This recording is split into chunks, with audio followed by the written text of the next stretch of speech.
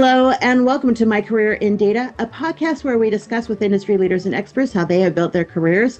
I'm your host, Shannon Kemp, and today we're talking to Peter Verster from Northell.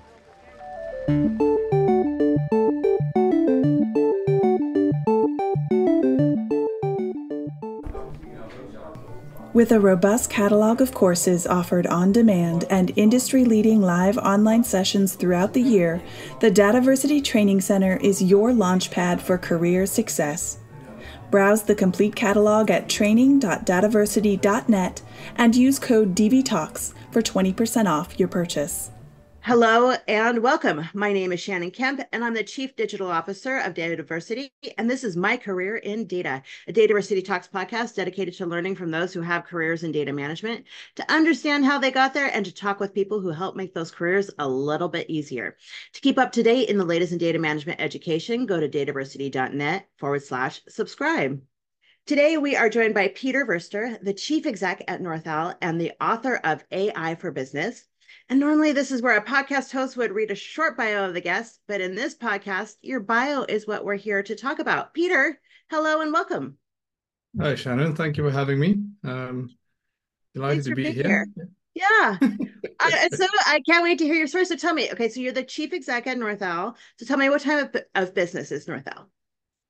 Yeah, so we're we're effectively a data company, but we have a bit of a USP in the fact that we we consult with businesses on the impact they want to create from their technology investments, and then we help them set off on that journey. We create the strategy for them and their roadmap, and then where we are unique is we then follow through with delivery of whatever those technical enablers are.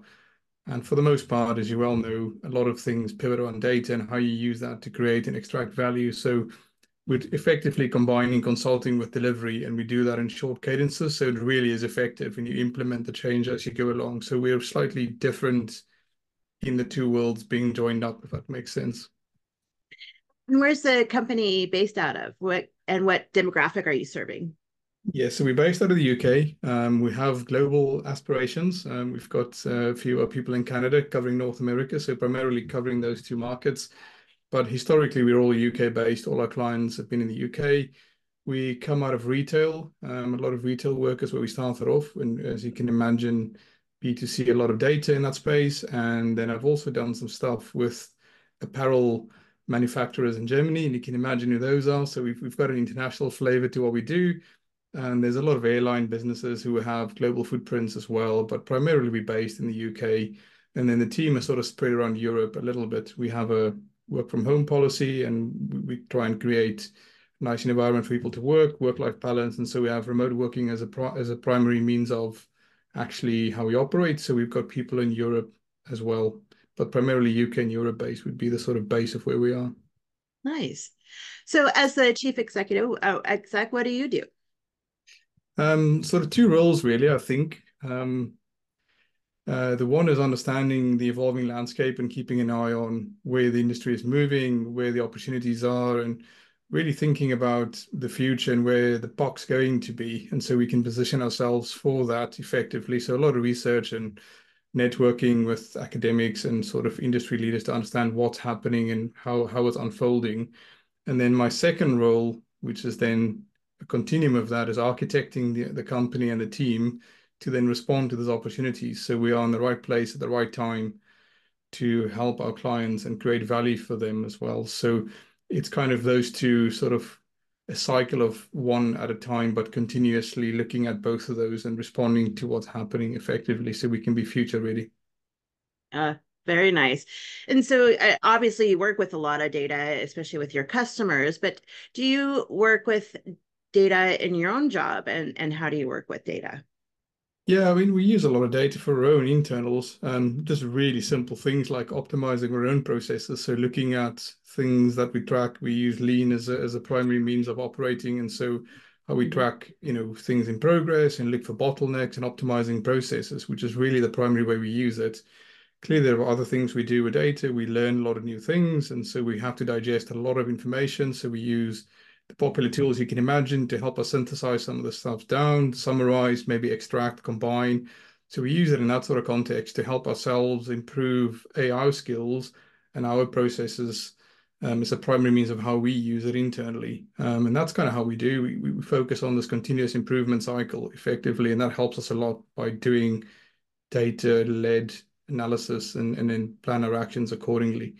Um, and then just upping our skills and knowledge knowledge development as a, as a primary means of keeping our skills relevant as well. So those are the two primary ways that we use it practically in day to day. Oh, very cool. Uh, I love that you even have a methodology behind it. Uh, yeah. so, okay, so in addition to your day job, you're also the author of AI for Business. So tell me about the book and, and how this came about. Yeah, so I think most people have a book in them, right? And I've been having one for many years. I think I've I've always gone around and helped companies and enabled them and sort of consulted and speak to a lot of people about their challenges and then helping them solve those or being exposed to a lot of common challenges. And what the book is really meant to do is not meant to cover the technical side of AI specifically, but it's basically help break the inertia of how do you get started because mm. what I find a lot is people are looking at this thing and going, it's such a big space. Where do I even start? Right. And then typically when they start, I see them starting on the wrong end of things. And so I'm like, well, you shouldn't really start there. So what I'm trying to, what I try to do with the book is design it for people who actually want to embark on the journey and trying to simplify it for them, making it digestible and understand the scope of all the stuff that you need to have to be successful with AI and specifically in data. So it's really to break the inertia. So the whole design around it was to simplify it, make it digestible, and make it tangible. So mm-hmm. that's the three design things I put in it. So it's really not a lecture on AI at all. It's if you don't know where to start and you know that there's potential there, you may have heard some of the stuff, you've read some of the hype. How do you practically put that into your business so you can ask the right questions? Because in most cases, you have to work with a team, maybe multiple vendors, you have to work with specialists what are the right questions and how do you get started is generally what the book's meant to do. Very nice. Um so tell me peter is this what you wanted to be when you grew up? Say like when you were six years old did you dream like i'm going to be the chief exec at a consulting data company? No not really. Um, what was the dream? I, engineering they were all various fields of engineering. So I remember at six, I think I, I called it electro electromechanical engineer. That's what I wanted to be because I was raised in South Africa and engineering is a really big thing in South Africa because engineers build new things. That's kind of how the country ah. has evolved to what it is. Yeah. So my aspiration was to build new things. Um, what I found myself is in software, which is also building new things, but it's incredibly flexible and very um, it has a lot of creative potential. You can really express yourself in that field. So how I ended up in that was just software engineering. That was my trade I picked, and that's what I went for. And as I got into working with larger clients and bigger projects, there was always a common theme around reimagining things and working with data. So it naturally evolved from just engineering into actually I can do a ton of good stuff with this data. And that's how I sort of progressed.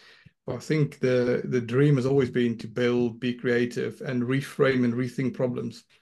I think if I, I love to, that pick a yeah. superpower, that's my superpower. I can think about things differently because I understand the potential of these technologies and data. So I can present people with a new set of options. So it's the creative and the building side combined is really the motivation. And that's what what makes me get up every morning. What, what have the guys built since yesterday? I'm keen to see what's going on. What have we done? How have we progressed? Right. So I'm really excited to get up in the mornings because I like doing those things, I guess. Oh, very nice. Uh, it, so did you what did you start then immediately working with customers what was the first job how did you yeah, how did so, you get into yeah yeah so i picked um, software engineering or software consulting or software houses as we called them back then so people who actually build software mm-hmm. um, so i had a choice at some point where do i go do i go down the route of hardware infrastructure or do i go the software route and actually, when I when I learned to program in university, that was me done. I was like, this this is it. I can do this. I can nail this. This is my ambition. I can I can be creative in this space. And so yeah. that's really what set me off. It's just the idea that I can make things do other things by writing lines of code, right? And then if you modify a line of code, the screen goes this way and that way, like really simple stuff just fascinated me. So that's really how I got into it. Um, and yeah, that's it just grew from there really. So working with software companies who specialized in building software for clients, so you get exposed to lots of different applications of software, different use cases which you may not have, like logistics, right? Like you would imagine logistics companies have complex software. There's basic things that you go, oh, this is interesting. And then you sort of learn the trade. But I think sticking to software houses gave me variety of new things coming in. So and then mm-hmm. as I progressed in my career, I was always the one to say, oh, that's new, I'll go and do that. So I was always the one to say, oh, I don't know how that works, I'll go and do it. So I always exposed myself to lots of new things all the time. And as I've gotten older and more mature in my career, those things really pay dividends because you have this massive repertoire of experiences to pull from to then come up with new things. So the, the variety of what you get exposed to pays off pays off quite well later in life when you have those experiences. So that was also a conscious choice not to work um, in industry. It was more to work with consulting companies that help other clients. And so I've ended up in, if you look at my CV, ended up at companies like um, Cognizant, and I worked for Microsoft. You obviously, through the power of those companies, you get exposed to really large clients of your own. Um, the most formative time was when I worked in a small software company. I was bought by a management consulting company, and they sort of put the two things together very much in the style that I've done it now, which is the consulting and the technology delivery. So that was a really formative period of about five years where I learned all these amazing skills from management consultants. And that's kind of where our company is basically on that based on that model. So that was my sort of exposure, what got me excited. Then I learned these new skills and oh, I can apply this. And then it just sort of mushroomed really. But I think the variety of what you get exposed to is really valuable over time. Yeah. I, so a very common theme that I found in in these interviews and in this podcast is it, it is a most definitely a journey of passion. So I, I love that that that's indeed what you are following and and it's and it's staying true. Um, I also think that I love that you mentioned superpowers too. We we often talk about superpowers here at Dataversity and you know and really try and lean in was okay what's everybody's superpowers so we can lean into those and maximize those and uh, and then find somebody with the superpowers that maybe we were lacking to fulfill. Absolutely, so yeah, that's yeah, really yeah it's a good so, skill to have. So it's it, good to know what you're good at, but it's probably more valuable knowing what you're not good at. I agree. acknowledging that because then you can find complements to your skills, and that's kind of what we do. When I said, you know, at at the top of the call, which is what do I do as architecting the team? We we literally do that. So we'll we'll hire someone and we'll find okay now the team is complete apart from this set of skills. Then we'll do the next hire. What we never ever do is hire 15 people at once yeah. because we want to see where the gaps are. Then once we put someone in where's the gaps? And then we'll sort of iteratively build the team so we can keep building complements around the core team and skills. So really valuable skill. Yeah i agree. Um yeah we have also have often conversations about you know what do you not want to do yeah exactly yeah, what, yeah. what are your where are you struggling so that we can fill those gaps just like you're talking about but I also heard, you know, along your journey that you're doing a lot. Not only did you go to university, but you're continuing to learn and explore. And it sounds like some of it has a lot of been a lot of hands-on learning just from your career path. But uh, how how else do you keep engaged and up to date and on uh, the latest in information and data? Yeah, so so yeah, I think it's exposing yourself to people that sort of have maybe that sort of thread that you can then pull on and get to the details of it. So having that sort of stimuli coming in is really helpful. Mm-hmm. And the way I've done it, I, I spent a long time at Oxford now doing various things at Oxford, like executive education and exposing myself to that network, the alumni network, and then you end up. We have an, a couple of academics on our board, for example, who help us get new ideas around policy and government and all the rest of it and then just networking really. But it is about again exposing yourself to various new inputs which you wouldn't get if you were just at your desk or working with your sort of close circle of people that you work with on a day-to-day basis because we all think more or less about the same space actively stepping out of that and saying where can i get new input? So we try to balance that with academic which is kind of leading and maybe so far out that it's not going to be real tomorrow but it gives you a glimpse of the future Mm-hmm. And then also with industry to see where the trends are, what are people concerned about, what are the common themes when they discuss things, and then working with customers is the other thing. You know, customers, if you see the same problem two or three times, you know there's a trend there, and you can then go and explore that trend. You can sort of see if we can get ahead of that. And then generally those things gives you a reason to respond. Those are challenges that you have to respond to. And then you use the same network to then say, well, how how have some other customers done this maybe, or what are the academics saying? What's the future? Is there new technologies coming out? All the rest of it. Um, the other thing is you can see books are an incredible source of knowledge. I think the one thing I would say is picking the quality of your content is key. Um, mm-hmm. If you're going to read sort of the froth on the internet, the stuff that bubbles to the top all the time, you know, what you find is quite diluted and very much the same thing. But if you can get to the the nexus of that, so can you find the academic paper that maybe sparked off that conversation, read that because it's very dense, and then you get a lot of information in a short space of time, and then using that to branch out. That's a really valuable skill I've found. And then the thing with books as well is if someone's written a book, they've thought about it, they've taken a long time to structure it, organize it. And there's two bits of value in a book, I think, for me personally, is which is the structure of it, because they've laid mm-hmm. out, they've created a map of the world for you, which is really valuable. You can reuse the map or parts of it if you want to. But then obviously the knowledge inside of it, the details also quite helpful. And then if you read enough books, you'll find recurring patterns as well. Um, which is interesting because then you'll see, well, everybody more or less looked at this problem the same. So there must be something there. So you can sort of see patterns across patterns, if you will. So that's the kind of way I do it. Um, and then, yeah, you know, look at LinkedIn. See, I don't read everything on LinkedIn, but see common patterns maybe. And everybody's talking about rags. What are they talking about? Let's follow through and see if there's something there you see the same paper pop up four or five times in different feeds. You know there's something there. You go and read the paper. So yeah. just basically staying in touch with things and getting variety of input as well. I try not to limit myself to one source, but I do try and make sure it's quality, at least what I deem to be quality. So academic papers, books, well-respected authors, people in the field that I trust and go to conferences or can follow up on YouTube with if I wanted to. But just good quality sources really is the main thing because if you're going to spend an hour doing something, you might want to find the best possible return on your investment for that hour.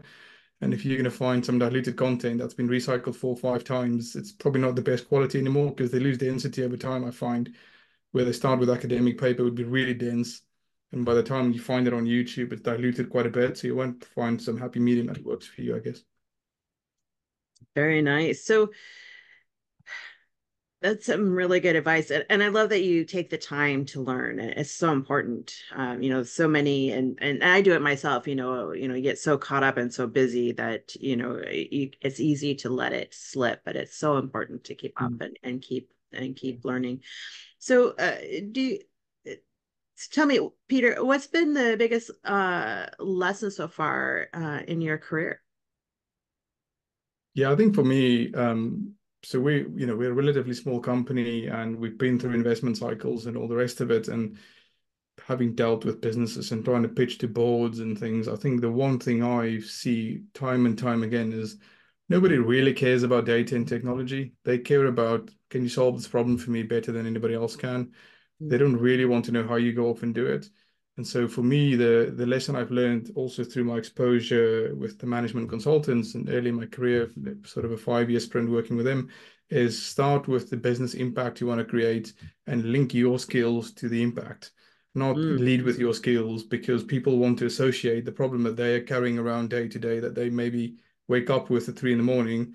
They want to understand how you solve that problem for them. They don't they don't care how you do it. They don't want to care that you're a specialist. Those are not important to them. You have to create that link for them.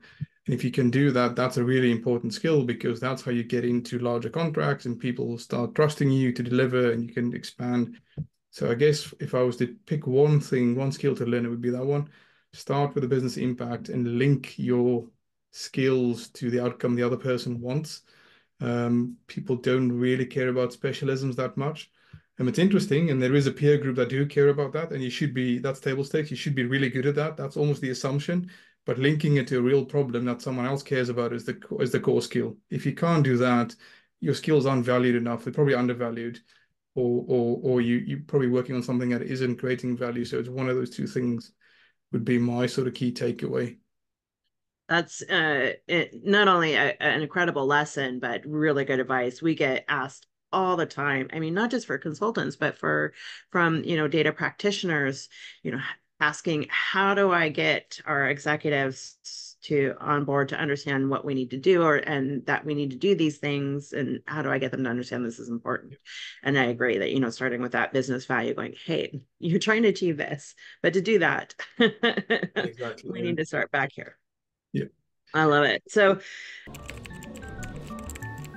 More and more companies are considering investing in data literacy education, but still have questions about its value, purpose, and how to get the ball rolling. Introducing the newest monthly webinar series from Dataversity, Elevating Enterprise Data Literacy, where we discuss the landscape of data literacy and answer your burning questions. Learn more about this new series and register for free at dataversity.net. Um, having worked with data for most of your career, tell me, eh, Peter, what, what is your definition of data?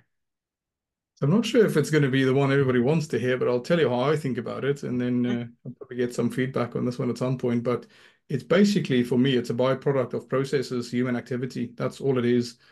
Um, and then you can say, well, what are these byproducts? Are there anything that's basically facts? They things that happened in the past. There's evidence of it. It could be a PDF document with an image in it could be tabular data, but they are basically byproducts of human activity and, and increasingly so, right?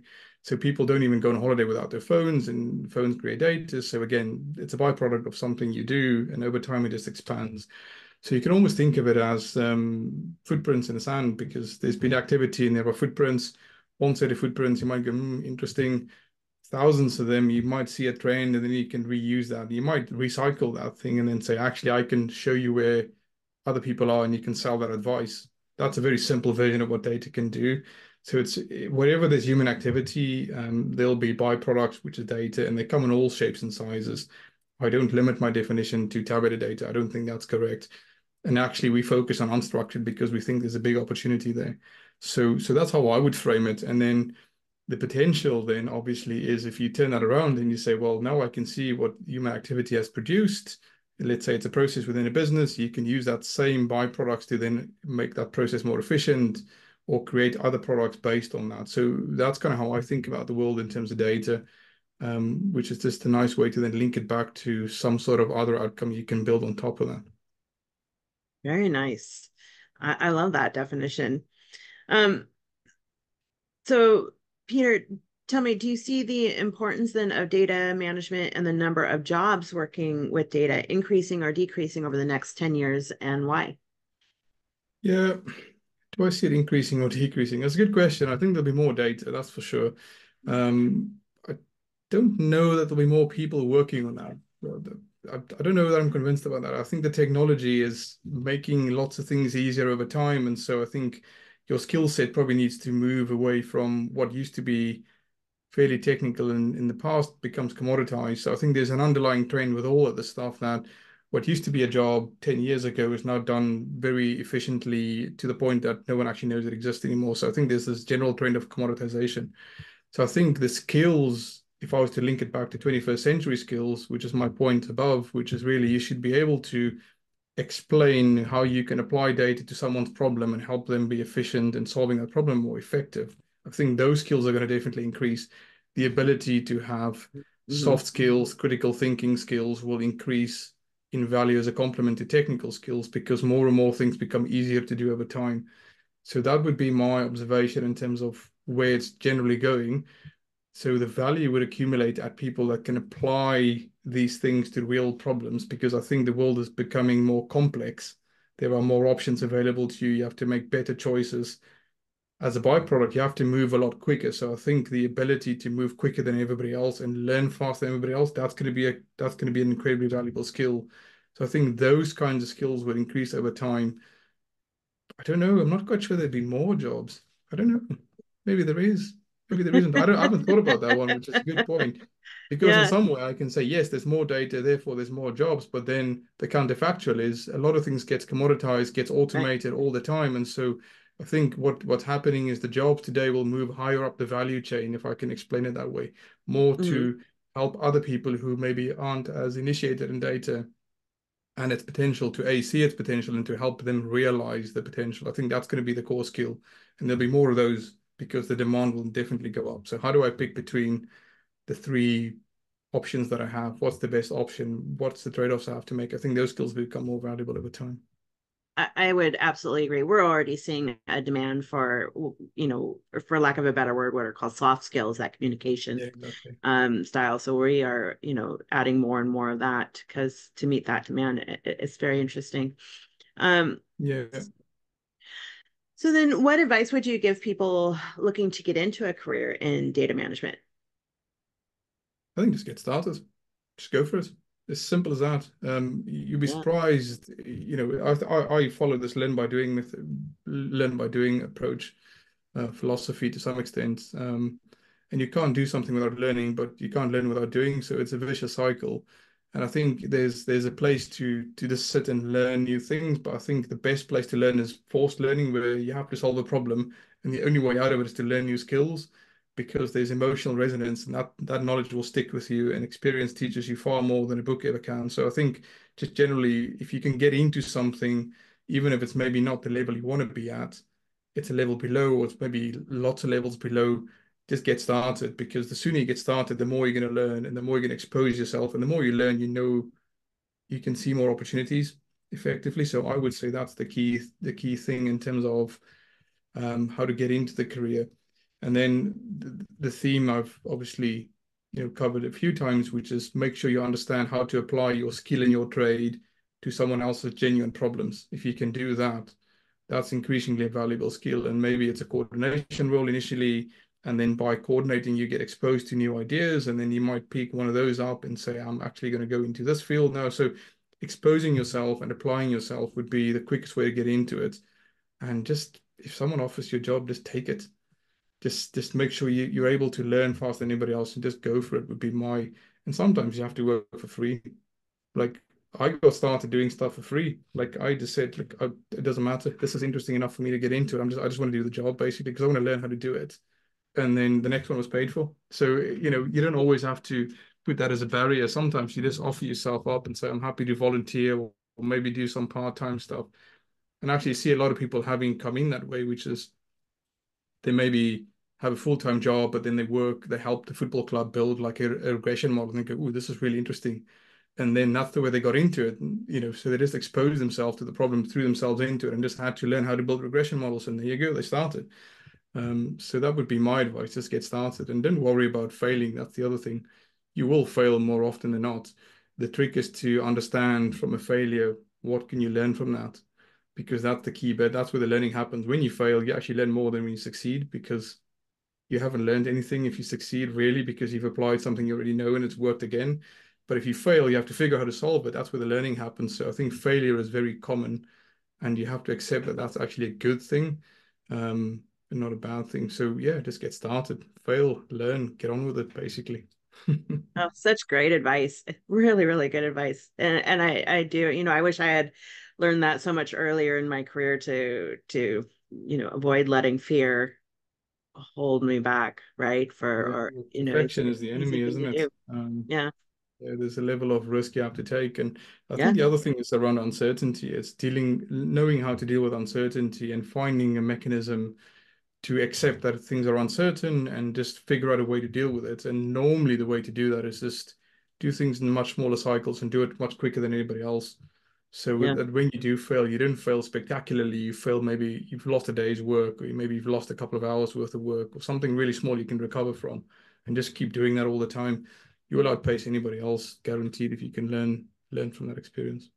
Absolutely, and it's comforting to know to talk about it, right? And that you know you're not alone in you're not the only person on the planet who has failed at something, right? It's not a it's not, not an isolated thing. Like yeah yeah it's definitely it's, built on failures yeah exactly it's important part of the process yeah Oh, well, Peter, this has been such a pleasure to sit down and chat with you. And I would be remiss if I didn't ask if somebody wanted to solicit uh, that your consulting services, how would they find you? Um, we're on northell.com, so that's the easy way to get into it. We're on LinkedIn. Um, that's easy. You can look up my name. I'm a pretty distinct um, name and surname. You'll find my website. There's, there's three ways to get into it. Um, happy for people to reach out for advice, new ideas. Like I just love, I love a good conversation because, like I said, I expose myself to as many things as possible. So even if you may not want to use our services, you may just want to ask something or you just have an idea. Those are all welcome. Um, yeah, so easy to find basically either by my distinct name or by the company name. It's on.com, so you should be able to find us. Um, yeah, that's that's fantastic. It. Yeah, and we'll we'll list those links on the podcast website as well. And uh, is your where's your book available? Uh, books available all the major places, primarily Amazon. Um, and what I found out is a lot of people read on Kindle, We are working on the audio version, which uh-huh. everybody is asking for, because what I also figured out, learning experience, is people love books, but they want to take them on the go and they want to sit in the train and yeah. read them. So yeah. we're working on the audio version, which should be available soon enough. Um, nice. And it's meant to really be a train ride read, so it's a, it's an easy, comfortable read. You don't have to stress yourself out too much and get pen and paper out to follow along. So yeah, Amazon is the main place, um, and then Audible soon enough. Perfect. Thank you. And just to, for everybody, just a reminder, the book, the title of the book is AI for Business. So and we'll get links to that as well. Well, Peter, again, it's been such a pleasure. Thank you so much for taking the time to sit down with us. Brilliant. Thank you, Shannon. Really appreciate that. And like I say, just get started. I love it. Well, and to all of our listeners out there, if you'd like to keep up to date on the latest podcast and the latest in data management education, you can go to dataversity.net forward slash subscribe. Until next time, stay curious, everyone. Thank you for listening to Dataversity Talks, a podcast brought to you by Dataversity. Subscribe to our newsletter for podcast updates and information about our free educational webinars at dataversity.net forward slash subscribe.